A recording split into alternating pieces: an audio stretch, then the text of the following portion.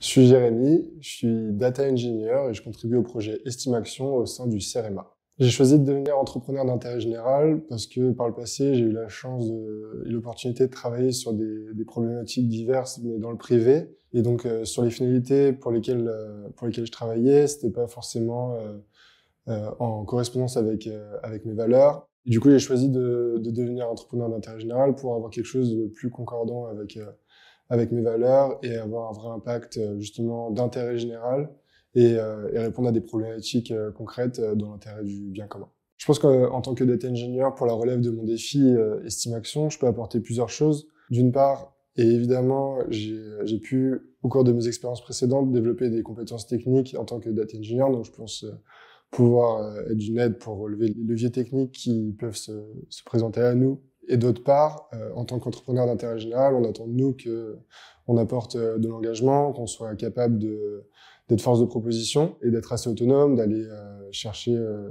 des éléments et lever les barrières relationnelles qui peuvent peut-être se présenter à nous. Et, euh, et, donc en tant que data engineer, je pense que je peux apporter un, point de vue différent. On va pouvoir confronter nos idées pour, pour avancer ensemble et être assez complémentaires pour la réalisation du projet.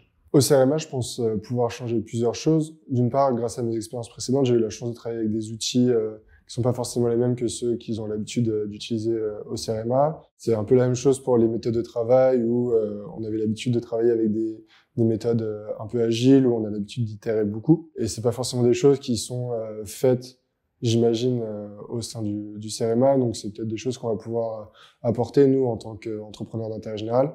Mais c'est pas forcément des choses qu'on veut forcer à changer. C'est une nouvelle dynamique que nous on essaye d'apporter en tant qu'entrepreneurs d'intérêt général et donc, euh, on va essayer de, de, confronter un peu nos méthodes de travail et nos, nos outils pour, euh, pour faire avancer les choses euh, correctement.